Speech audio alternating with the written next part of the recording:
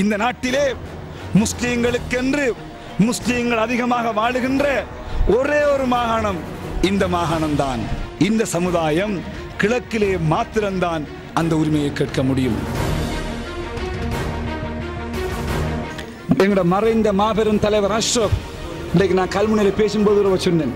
இந்த கட்சியை உண்டாக்கினது இந்த போராட்டம் செய்கிறது எல்லாமே இந்த மாகாணத்தை கைப்பற்றி இந்த ஆட்சியை கைப்பற்றி அதுக்கு பிறகு புலிக்கு இந்த வடகிழக்கு தமிழர்களின் தாயகம்னு சொல்லிடுமா சொல்லுங்க. முடியாது. இப்ப என்ன சொல்றாங்க கேட்டா வடகிழக்கு தமிழர்களின் தாயகம்ங்காங்க. ஒரு முஸ்லீம் ஆள் முதலமைச்சரா வந்தா அதுக்கு பிறகு சொல்லிடுமா அதுக்கு பிறகு என்னன்னு சொல்லணும்? இந்த மாகாணம் இந்த மண் முஸ்லீம்களின் தாயகம். அங்க இருக்கின்ற ஓட்டமாடி மத்திய இருக்கின்ற ஆதார மண்டபம் வாழச்சேனையில் இருக்கிற கட்டடங்கள் பாடசாலைகள் புதிய புதிய. அங்க இருக்கின்ற அவ்வளவு அநேகமான புதிய அத்தனையும் என்னுடைய நிர்வாக காலத்திலே திறக்கப்பட்டது. அந்த அங்கிருந்த ஓட்டமாவடி மக்களுக்கு ஒரு பிரதேசம் கட்டுவதற்கு பிரத- காணி இருக்கவில்லை ஒரு தேவைக்கு இருக்கவில்லை. அப்பொழுது இருந்த அந்த சவக்காலை அதை அதிலே கட்டுவதற்கு இவ்வளோ பிரச்சனைகள் இருந்தது. இருந்தது நான் முன்னின்று அந்த அந்த காணியை முழுமையாக நான் தான் பெற்றெடுத்தேன். நான் நான் அரசுக்கு எடுத்தேன். மட்டக்குளம் மாவட்ட அபிவிருத்தி குழு தலைவராக இருந்தபோது அந்த அதிகாரத்தை பயன்படுத்த முழு சவக்காலையை நான் தான் பொறுப்பேற்றேன். அவ்வளவு நாங்கள் செய்தோம். அதில் தான் மர்க்கசு காணி ஒப்படைத்தோம். அதை கொண்டுதான் இப்பொழுது கட்டப்பட்டிருக்கின்ற மாக்கள். ஓட்டமாடி அதுவும் நான் தான் கட்டினேன். அதுவும் ஒரு கோயில் காணி. இவ்வளவு பிரச்சனை இருந்தது. இந்த அதில் கோயில் கட்டப்பட்டிருந்தால் ஓட்டமாடி நேரத்தில் கோயில் இருந்திருக்கும். அதை மறந்துவிடக்கூடாது நான் அதில் கோயில் இருந்த காணியை இவ்வளவு பிரச்சனை இருந்தது. நான் மாவட்ட அபிவிருத்தி கொடுத்தார் என்ற அதிகாரத்தை பயன்படுத்தித்தான் அந்த காணியை நான் பொறுப்பேற்றேன். பொறுப்பேற்று பிரதிநிதி கொடுத்து ஓட்டமாவடி பள்ளிவாசலுக்கு கொடுத்து அதிலே நாங்கள் ஒரு மார்க்கெட்டை கட்டி இந்த நிகழ்ச்சிக்குள் நுழைவதற்கு முன்பதாக இலங்கையில் வெளியான சில செய்திகளை பார்த்துவிட்டு அதன் பின்னர் நிகழ்ச்சியின் தலைப்பை நோக்கி உமது பார்வையை செலுத்துவோம். ஆயிரத்தி தொள்ளாயிரத்தி எழுபத்தி ஆறாம் ஆண்டு ஆகஸ்ட் மாதம் பதினாறாம் தேதி முதல் பதினெட்டாம் தேதி வரை அணிசேரா நாடுகளின் மாநாடு இலங்கையில் நடைபெற்ற போது இலங்கைக்கு விஜயம் மேற்கொண்ட லிபிய அதிபர் கர்னல் கடாஃபி இலங்கையில் நடைபெற்ற நிகழ்வொன்றில் உரை நிகழ்த்திய போது கூறிய ஒரு கருத்து பின்னாட்களில் பெரிய சர்ச்சைக்குள்ளாகி இருந்தது. முஸ்லிம் சமூகத்தினர் மத்தியில் பிரத்யேகமாக நடைபெற்ற ஒரு நிகழ்வில் பேசிய கர்னல் கடாஃபி தனது பேரப்பிள்ளை இலங்கைக்கு விஜயம் மேற்கொள்ளுகின்ற காலம் வருகின்ற போது இலங்கை ஒரு முஸ்லிம் நாடாக இருக்க வேண்டும். அதற்கு அனைவரும் திடசங்கற்பம் பூண வேண்டும் என்று கடாஃபி விடுத்திருந்த கோரிக்கை பலத்த சர்ச்சையை ஏற்படுத்தியிருந்தது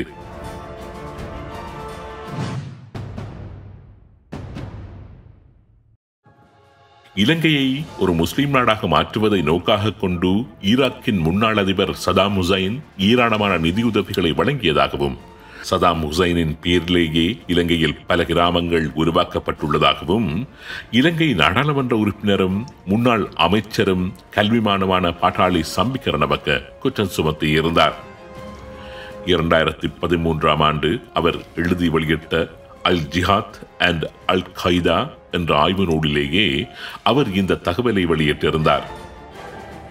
இரண்டாயிரத்தி தொண்ணூறாம் ஆண்டு இலங்கை ஒரு இஸ்லாமிய நாடாக மாறுவதற்கான சாத்தியப்பாட்டையும் சம்பிக்க ரணவக்க தனது அந்த புத்தகத்தில் எதிர்வு கூறியிருந்தார்.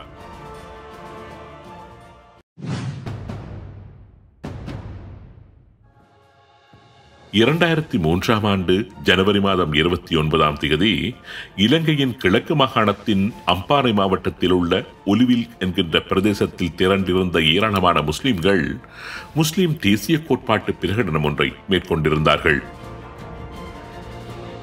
இலங்கையில் வாழும் முஸ்லிம்கள் தாம் பெரும்பான்மையாக வாழும் வடக்கு கிழக்கு பிரதேசங்களில் ஒரு சுயநிர்ணய உரிமையுடன் கூடிய சுயாட்சியை உருவாக்கிக் கொள்ளும் வகையில் அந்த பிரகடனம் அமைந்திருந்தது.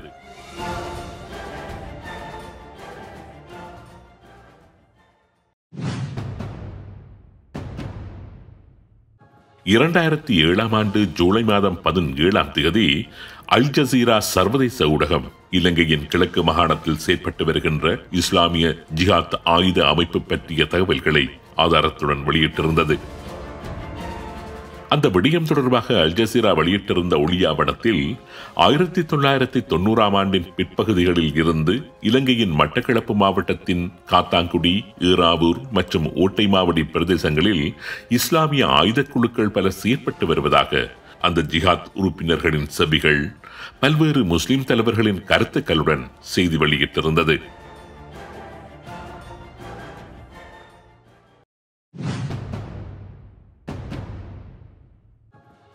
இரண்டாயிரத்தி ஒன்பதாம் ஆண்டு ஜூலை மாதம் ஐந்தாம் திகதி இலங்கையின் மட்டக்கிழப்பு காத்தான்குடி பள்ளிவாசலில் வைத்து இஸ்லாமிய ஜிஹாத் ஆயுத குழுக்கள் வசம் இருந்த ஒரு தொகுதி ஆயுதங்கள் ஸ்ரீலங்கா காவல்துறையினரிடம் ஒப்படைக்கப்பட்டன. AK forty seven T fifty six போன்ற இயந்திர துப்பாக்கிகள் உட்பட ஏராளமான நவீன போர்க்கருவிகள் காத்தான்குடி பள்ளிவாசலில் வைத்து இஸ்லாமிய ஆயுத குழுக்களால் ஒப்படைக்கப்பட்டிருந்தன.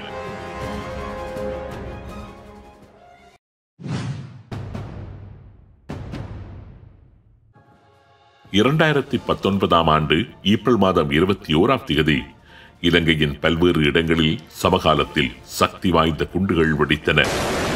ஈஸ்டர் தினத்திலன்று கிறிஸ்தவ தேவாலயங்களிலும் நட்சத்திர விடுதிகளிலும் இஸ்லாமிய தீவிரவாதிகளால் நடத்தப்பட்ட அந்த தாக்குதலில் முன்னூறு பேர் வரையில் கொல்லப்பட்டு ஐநூறுக்கும் அதிகமானவர்கள் காயமடைந்திருந்தார்கள். குண்டுவெடிப்பை தொடர்ந்து ஸ்ரீலங்கா காவல்துறையினர் மேற்கொண்ட விசாரணைகளின் போது இலங்கையின் பல்வேறு பாகங்களில் ஏராளமான முஸ்லிம் இளைஞர்கள் ஆயுத பயிற்சிகள் பெற்றிருந்தது பற்றியும் இலங்கையின் சில பாகங்களில் ஷரியா சட்டத்தை பிரகடனப்படுத்தி ஒரு இஸ்லாமிய ராஜ்யத்தை நிறுவன நோக்கத்தில் அவர்கள் செயல்பட்டு வந்ததும் கண்டுபிடிக்கப்பட்டது.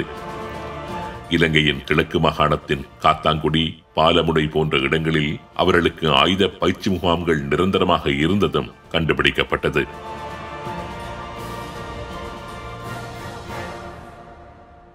எந்த ஒரு விடயத்தையும் சம்பவங்களின் ஊடாகவும் செய்திகளின் ஊடாகவும் அணுகுகின்ற போதுதான் அந்த விடயத்தின் உண்மையான பரிமாணத்தை சரியாக புரிந்து கொள்ளக்கூடியதாக இருக்கும். அந்த அடிப்படையில் தான் இலங்கையில் நடைபெற்ற சில சம்பவங்களையும் அந்த சம்பவங்கள் தொடர்பாக வெளிவந்திருந்த செய்திகளில் ஒரு சிலவற்றையும் இங்கு பார்த்திருந்தோம். இப்பொழுது நிகழ்ச்சிக்குள் நாம் நுழைவோம். இலங்கையில் அவர்கள் அமைக்க இருக்கின்ற இஸ்லாமிய ராஜ்யத்துக்கு அவர்கள் சூட்டியுள்ள பெயர் கிழக்கிஸ்தான். அதாவுல்லா சொல்லியிருக்கின்றார். கிழக்கிஸ்தான் உருவாக போகின்றதுன்னு சொல்லுகின்றார். எங்கு?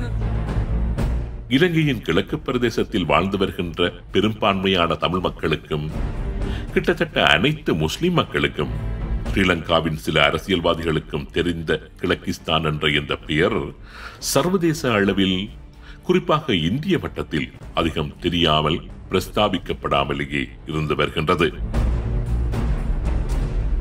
இரண்டாயிரமாம் ஆண்டு காலப்பகுதி முதலாக இலங்கையின் கிழக்கு மாகாணத்தை கிழக்கிஸ்தான் என்ற இஸ்லாமிய ராஜ்யமாக்கும் காரியங்கள் ஆரம்பத்தில் ரகசியமாகவும் காலப்போக்கில் பகிரங்கமாகவும் மேற்கொள்ளப்பட்டு வந்தது. அந்த பிரதேச வாழ் மக்களுக்கு நன்றாகவே தெரியும்.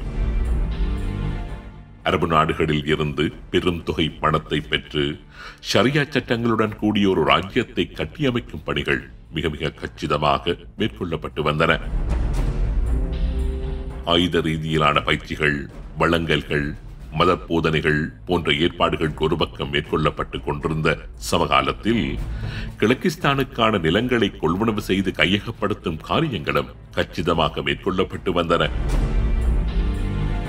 நிலவங்கிகளினூடாக பலஸ்தீனர்களின் நிலங்களை யூதர்களின் சியோன் அமைப்பு எப்படி வாங்கி குவித்து பின்னர் சந்தர்ப்பம் ஏற்பட்ட போது அந்த நிலங்களில் யூதர்களை குடியேற்றி இஸ்ரேல் என்ற பெயரில் அதனை ஒரு தேசமாக மாற்றியதோ கிட்டத்தட்ட அதே பாணியிலான ஒரு நகர்வுதான் இலங்கையின் கிழக்கில் சில முஸ்லிம் அமைப்புகளால் மேற்கொள்ளப்பட்டு வருகின்றது. நூற்றுக்கணக்கில் ஆயிரக்கணக்கில் நிலங்கள் வாங்கி குவிக்கப்பட்டு வருகின்றன. அதுவும் தமிழர்களின் பாரம்பரிய தாய் நிலங்கள் முஸ்லிம்களால் கையகப்படுத்தப்பட்டு வருகின்றன. யுத்தத்தில் உயிரிழந்த தமிழர்கள் காணாமல் போனவர்கள் வேறு இடங்களுக்கு புலம்பெயர்ந்தவர்கள் போன்றவர்களின் காணிகள் திட்டமிட்ட முறையில் கள்ள உறுதிகள் தயாரிக்கப்பட்டு முஸ்லீம் அமைப்புகள் அல்லது முஸ்லிம் பினாமிகளின் பெயர்களுக்கு மாற்றப்பட்டு வருகின்றன. விடுதலை புலிகளுடன் தொடர்புடையவர்கள் அல்லது தீவிர தமிழ் தேசிய அரசியலில் ஈடுபட்டவர்கள் மிரட்டப்பட்டு குறைந்த விலைக்கு அவரது நிலங்கள் கொள்வனவு செய்யப்பட்டு வருகின்றன. உதாரணத்திற்கு இலங்கையில் முன்னாள் அமைச்சர் கே டபிள்யூ தேவநாயகம் அவர்களின் ஐம்பத்தி எட்டாம் இலக்க உறுதியில் இருந்த பாரம்பரிய காணி மற்றும் காணி சீர்திருத்த ஆணைக்குழுவிடம் ஒப்படைக்கப்பட்ட நூற்றுக்கணக்கான ஏக்கர் காணி பொய்யான உறுதிகள் தயாரிக்கப்பட்டு கையகப்படுத்தப்பட்டு முஸ்லிம்களின் பேர்களுக்கு மாற்றப்பட்டுள்ளன. காணி சீர்திருத்த ஆணைக்குழுவிடம் ஒப்படைக்கப்பட்ட காணிகளுள் நூற்றி ஐம்பது ஏக்கர் காணி கொழும்பை அடிப்படையாக கொண்ட முஸ்லிம் நிறுவனமான இஎம்ஏ லங்கா பிரைவேட் லிமிடெட் என்ற நிறுவனத்தின் பெயருக்கு மாற்றப்பட்டுள்ளது. இது ஒரு சிறிய உதாரணம் மாத்திருந்தான் இது போன்ற நூற்றுக்கணக்கான சம்பவங்கள் இலங்கையின் கிழக்கில் இடம்பெற்றிருக்கின்றன. அதுவும் காணி விடயத்தில் மேற்கொள்ளப்பட்டு வருகின்ற நுட்பமான திட்டமிடல்களை கொஞ்சம் ஆழமாகச் சென்று பார்க்கின்ற பொழுது அதிர்ச்சிகரமான பல உண்மைகளை அறியக்கூடியதாக இருக்கின்றது. இலங்கையின் கிழக்கு மாகாணத்தில் மேற்கொள்ளப்பட்ட நில ஆக்கிரமிப்பு அல்லது நிலங்கள் கையகப்படுத்தப்பட்ட சீர்திட்டத்தை பொறுத்தவரை அவை கிழக்கிஸ்தான் என்கின்ற ஒரு இஸ்லாமிய ராஜ்யத்தை அடிப்படையாக கொண்ட ஒரு நடவடிக்கையாகவே மேற்கொள்ளப்பட்டு வருகின்றது. ஒரு ராஜ்யம் அமைப்பதாக இருந்தால் அதற்காக தடையில்லாத விநியோகங்கள் அவசியம். கிழக்கிஸ்தானுக்கான கடல்வழி விநியோகத்தை அடிப்படையாக வைத்தும் ஏராளமான நிலங்கள் கையகப்படுத்தப்பட்டு வருவதையும் கொஞ்சம் உள்ளே சென்று ஆராய்கின்ற பொழுது அறிந்து கொள்ளக்கூடியதாக இருக்கின்றது. இதற்காக மட்டக்கிழப்பு மாவட்டத்தில் உள்ள முக்கியமான ஐந்து முனைகள் இந்த தரப்புகளால் குறிவைக்கப்பட்டுள்ளன. முதலாவது சல்லித்தீவு வாகரை இடையிலான முனை. இரண்டாவது கதிரவழி வாகரைக்கு இடையிலான முனை. மூன்றாவது சல்லித்தீவு புன்னைக்குடா ஏறாவூர் இந்த கிராமங்களை அடிப்படையாக கொண்ட முனை. நான்காவது நாசிவன் தீவு வாழைச்சேனை இடையிலான முனை. ஐந்தாவது காயங்கேணி முருங்கைக்கல் தீவு இடையிலான முனை. இந்த முனைகளை அடிப்படையாக வைத்து ஏராளமான காணிகள் கையகப்படுத்தப்பட்டு வருகின்றன. புன்னைக்குடா என்கின்ற பிரதேசத்தில் உள்ள நூற்றி முப்பத்தி ஏழு ஏக்கர் தமிழ் மக்களின் பாரம்பரிய காணிகள் ஹிரா ஃபவுண்டேஷன் மற்றும் ராயல் பார்க் ஃபவுண்டேஷன் போன்ற முஸ்லிம்களின் நிறுவனங்களினால் அந்த பிரதேச வாழ் தமிழ் மக்களின் கடுமையான எதிர்ப்புகளுக்கு மத்தியில் சுவீகரிக்கப்பட்டன. இந்த பிடிச்சி பிரைவேட் நிறுவனங்களுக்கு வித்திருக்காங்க ஏற்கனவே நிறைய வளவுகள் இங்கே பில்லு பெற்றிருக்குது. அது வந்து முழுவதும் முழுதும் தமிழருக்குரிய இந்த ஏரியா வந்து முழுதும் தமிழர் பாரம்பரியத்துக்குரிய தமிழர் இடம் இந்த இடம். இதை வந்து இவங்க வந்து நிறைய இதுக்கு பின்னுக்கு இருக்கிற துண்டுகளையும் நிறைய எடுத்து வித்திருக்காங்க இவங்க. அதுக்குரிய ஆவணங்களும் அதுக்குரிய இது முழுதங்கிட்ட சரியான இது முழுதங்கிட்ட இருக்குது. அதனால் இந்த இது வந்து தமிழ் மக்களுக்கு தம் தமிழாக்களுக்கு தமிழ் மக்களுக்கு இயலாத கஷ்டப்பட்ட தனத்துக்கு இந்த வளவை பிடிச்சி கொடுக்குமாறு நாங்கள் அரசாங்கத்தை கேட்டுக்கொள்றோம் நாங்கள் இதை வந்து இதில் இவங்க இவரை வந்து இல்லசபைக்கு வந்து அவர் வந்து அரசு அரசு அரசாங்கத்தில் வேலை செய்கிற ஒரு ஒரு உ- உ- உத்தியோகத்தர் அவர். அவர் தான் இதில் ஃபுல்லாக நிறைய விற்கிற அலுவலர்களுக்கும் அவர் தான் இவர் தான் பார்க்குறவர். அதனால் இந்த அரசாங்கத்துக்கு அரசாங்கத்துக்கு இவருக்கு ஒரு நடவடிக்கை எடுக்க வேணும். இந்த ஏழைகளுக்கு இந்த இந்த இடத்த பிடிச்சி ஏழைகளுக்கு கொடுக்கணும். இல்லை அவங்களுக்கு கொடுக்கணும். இவர் நிறைய நிறுவனங்களுக்கு இந்த ஏரியா பிடிச்சி விற்றுருக்காரு அதுக்குரிய ஆவணம் முழு எங்கிட்ட இருக்குது நாங்கள் வச்சுருக்கோம். அந்த இரண்டு நிறுவனங்களும் கிழக்கின் ஒரு பிரபல முஸ்லீம் அரசியல்வாதி ஒருவருக்கு அல்லது அவருடைய பினாமிகளுக்கு சொந்தமான நிறுவனங்கள் என்பது குறிப்பிடத்தக்கது. அறுநூற்றி பத்து ஏழைகளுக்கு வீடு கட்டி அவர்களுக்கான வாழ்வாதாரத்தை அமைத்துக் கொடுப்பதற்காகவென்று கூறியே அந்த காணிகள் கையகப்படுத்தப்பட்டதுடன் ஒரு அரபு ஷேக்கிடம் இருந்து அதற்காக இருநூற்றி இருபது கோடி ரூபாய் பணம் பெறப்பட்டதாகவும் கூறப்படுகின்றது. அரபு ஷேக்கிடம் இருந்து பணம் பெற்று அங்கு குடியேற்றப்பட்ட அறுநூற்றி பத்து குடும்பங்களும் முஸ்லிம் குடும்பங்கள் என்பது குறிப்பிடத்தக்கது. கடலை அண்டிய ஒரு முனை பிரதேசம். அதுவும் தமிழ் மக்களின் ஒரு பாரம்பரிய நிலம். ஒரு நொடிப்பொழுதில் சட்ட ரீதியாக எப்படி இஸ்லாமிய பிரதேசமாக மாறியது என்பது மாத்திரமல்ல கட்டமைக்கப்பட இருக்கின்ற கிழக்கிஸ்தானின் ஒரு முக்கிய கடல்வழி போக்குவரத்திற்கான தளமாகவும் அது எப்படி மாற்றப்பட்டது என்பதற்கும் இது ஒரு சிறந்த உதாரணம். இது போன்ற நிறைய உதாரணங்கள் கிழக்கு மாகாணம் முழுவதிலும் இருக்கின்றன. இலங்கையின் கிழக்கில் உருவாக்கப்பட்டு வருகின்ற கிழக்கிஸ்தான் தொடர்பான விடயங்கள் பற்றி காத்தாங்குடி ஈராமூர் ஊட்டை மாவடி போன்ற முஸ்லிம் பிரதேசங்களில் உள்ள சில சமூக தலைவர்கள் ஊடகவியலாளர்களிடம் பேசிய போது அது பாரிய திட்டமிடலின் அடிப்படையில் நிறுவனமயப்படுத்தப்பட்டு மேற்கொள்ளப்பட்டு வருகின்ற நடவடிக்கை என்றும் இரண்டு முஸ்லிம் அரசியல்வாதிகள் அந்த விடயத்தில் நேரடியாக சம்பந்தப்பட்டு வருவதாகவும் ஈராளமான அடிப்படைவாத அமைப்புகள் இந்த கிழக்கிஸ்தான் விடயத்தில் சம்பந்தப்பட்டுள்ளதாகவும் தெரிவித்தார்கள். அதேவேளை பெரும்பான்மையான முஸ்லிம் மக்களுக்கு இந்த கிழக்கிஸ்தான் விடயத்தில் உடன்பாடு இல்லை என்பதுடன் சமூக முரண்பாடுகளை ஏற்படுத்திவிடக்கூடிய இந்த காரியம் தொடர்பான அச்சம் சாதாரண முஸ்லிம்கள் மத்தியில் காணப்படுவதாகவும் அவர்கள் தெரிவித்தார்கள். பாகிஸ்தான் புலனாய்வு பிரிவு இந்த விடயத்தில் நேரடியாக களத்தில் நின்று செயற்பட்டு வருவதாகவும் முஸ்லிம் மக்களுக்கான பாதுகாப்பு நிவாரணம் வாழ்வாதாரம் என்கின்ற அடிப்படையில் ஈராளமான அரபு நாடுகள் வகை தொகையற்ற நிதிகளை பங்களிப்பு செய்து வருவதாகவும் அவர்கள் தெரிவித்தார்கள். இந்த இடத்தில் இந்த நிகழ்ச்சியை பார்த்துக் கொண்டிருக்கின்ற உங்களில் பலரிடம் ஒரு கேள்வி எழலாம். ஸ்ரீலங்கா அரசாங்கம் குறிப்பாக ஸ்ரீலங்கா புலனாய்வு பிரிவுகள் இந்த விடயத்தில் எப்படியான அணுகுமுறையை மேற்கொண்டு வருகின்றன என்ற கேள்வி உங்கள் மனங்களில் எழலாம். இஸ்லாமிய தீவிரவாதத்தின் விளைவை ஒரு தடவை ருசித்து பார்த்துவிட்டுள்ள சிங்கள தலைமைகள் கிழக்கில் ஒரு இஸ்லாமிய ராஜ்யம் உருவாகுவதை இவ்வாறு பார்க்கின்றன என்றும் நீங்கள் கேள்வி எழுப்பலாம். பதில் மிகவும் இலகுவானது.